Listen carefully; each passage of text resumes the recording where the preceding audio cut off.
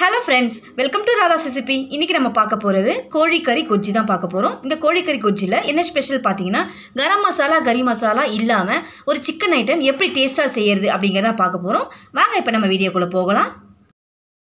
அதுக்கு முதல்ல ஒரு கடாயை ஹீட் பண்ணிவிட்டு ஒரு குழிக்கரண்டி அளவுக்கு நல்லெண்ணெய் சேர்த்துக்கலாம். இந்த டிஷ்ஷுக்கு நல்லெண்ணெய் தான் நல்லா இருக்கும். இப்போ இதில் ஒரு பிரிஞ்சி இலை ஒரு நட்சத்திரப்பூ சுருள் பட்டை ரெண்டு துண்டு சேர்த்துட்டு ரெண்டு பெரிய சைஸ் வெங்காயம் பொடியை நறுக்கியிருக்கேன். இதை சேர்த்துட்டு இது கூடவே காரத்துக்காக பச்சை மிளகாய் நீட்ட வாக்கில் வெட்டி எடுத்திருக்கேன். கொஞ்சமாக கருவேப்பிலை இதழ்களை கிள்ளி சேர்த்துக்கோங்க. எண்ணெயில் ஒரு முறை நல்லா கலந்து விட்டுட்டு ஒரு ஸ்பூன் இஞ்சி பூண்டு விழுது சேர்த்துக்கலாம். இது பச்சை வாடை போயிட்டு கண்ணாடி பதம் வர்ற வரைக்கும் வெங்காயம் இந்த அளவுக்கு வதங்கின உடனே இதில் நானூறு கிராம் தக்காளி சேர்த்துக்கலாம். தக்காளி நல்லா வதங்கிறதுக்காக கொஞ்சமாக உப்பு சேர்த்துக்கலாம். உப்பு சேர்த்தோன்னா குழைய வெந்து வரும். இந்த கோழிக்கறி கொச்சிக்கு தக்காளி அதிகமாக இருக்கணும். ஐநூறு கிராம் கறிக்கு நானூறு கிராம் தக்காளி கரெக்டாக இருக்கும். சிக்கனை இந்த அளவுக்கு கட் பண்ணி எடுத்துக்கோங்க. இப்போ ஆஃப் கிலோ சிக்கனை இப்போ இதில் சேர்த்துட்டு இதை ஒரு முறை நல்லா கலந்து விட்டுறலாம். கலந்து விட்டுட்டு பத்து நிமிஷம் வரைக்கும் நல்லா இது வெந்து வரட்டும். சிக்கனில் வர தண்ணி நல்லா கசிஞ்சு வரணும். இப்போ பத்து நிமிஷம் கழித்து பார்க்கலாம். பாருங்கள் ஃப்ரெண்ட்ஸ் இப்போ இன்னும் கொஞ்சம் தண்ணி இருக்குது இந்த தண்ணி வற்றி வர்றதுக்கு இன்னும் ஒரு ரெண்டு நிமிஷம் போல் மூடி வைக்காமல் பெரட்டி விட்டுட்டே இருக்கலாம். பெரட்டி விட்டோன்னா அந்த தண்ணி நல்லா வற்றி இந்த அளவுக்கு ட்ரை ஆகிட்டு வந்துடும் நல்லா எண்ணெய் பிரிஞ்சு வந்திருக்கு பாருங்கள் இந்த அளவுக்கு வந்தோடனே இப்போ இதில் மசாலாலாம் ஆட் பண்ணிடலாம்.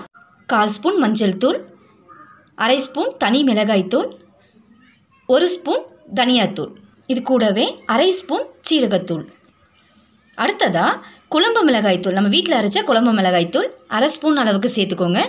சில்லி பவுடர் தனியா பவுடர் விருப்பப்படாதவங்க வெறும் குழம்பு மிளகாய் தூளை கூட சேர்த்து இதை செய்யலாம். ரொம்பவே டேஸ்ட் சூப்பராக இருக்கும்.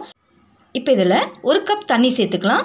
சேர்த்துட்டு தேவையான அளவுக்கு உப்பு சேர்த்துக்கலாம். முதல்ல கொஞ்சமாக தான் உப்பு சேர்த்துருந்தேன். செக் பண்ணிவிட்டு உப்பு சேர்த்துக்கோங்க. அடுத்ததாக இடித்து வச்சுருக்கிற மிளகு ஒரு ஸ்பூன் அளவுக்கு சேர்த்துடலாம் இதுக்கு தேவையான மசாலா அவ்வளோதான் கரம் மசாலா இதில் சேர்க்கலை.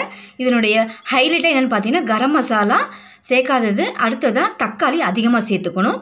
அப்போ தான் கொஜ்ஜு சூப்பராக இருக்கும். இப்போ இதை அஞ்சு நிமிஷம் வரைக்கும் இதை மூடி வச்சு பார்க்கலாம்.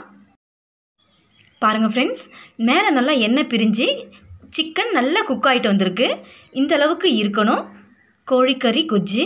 கரம் மசாலா கறி மசாலா எதுவும் சேர்க்காம நல்லா மணமாக இருக்கும் இந்த கொஜ்ஜி. கொஞ்சமாக கொத்தமல்லி தலைகளை ஆட் பண்ணிடலாம்.